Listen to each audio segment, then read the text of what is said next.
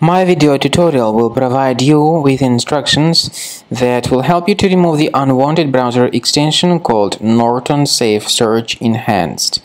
Uh, frankly speaking, this extension is not related to Norton company or Norton software. This is a junk and malicious extension that basically uh, may change your default search engine settings without your permission. It may read and change all your data on all websites. It may manage your apps, extensions, and themes. Uh, this extension is spread through deceptive pop-ups and furthermore it is hard to get rid of it manually. This extension uh, controls a lot of important browser settings and as a result you have this message saying that your browser is managed by your organization. This fake Norton Safe Search Enhanced extension actually controls your browser and doesn't let you remove this junk extension. To remove this junk extension, I recommend you to research your computer with Combo Cleaner, which can be found on the website combocleaner.com. So download the software, install the application, and once it is successfully installed, start researching the system with its help.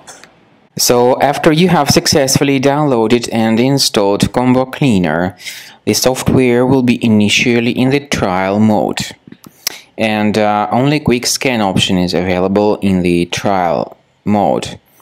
The uh, Full mode includes uh, full system scan and custom scan, but as I said, in the trial version only quick scan option is available. So you need to click on the start scan button and uh, most likely the application will uh, first of all update its anti-malware database and uh, by the way this is a very essential step so do not skip it uh, do not cancel the update procedure.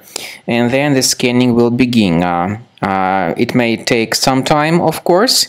At the end of the scanning you will see the full summary of all the threats that were revealed by combo cleaner during the scan.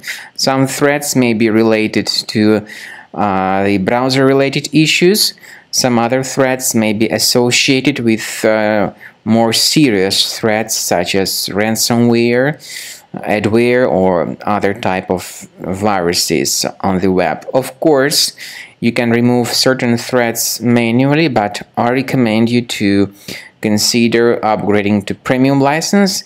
Uh, this is the best way to keep uh, all your uh, files protected and to keep your entire computer free of uh, any other possibly hidden threats.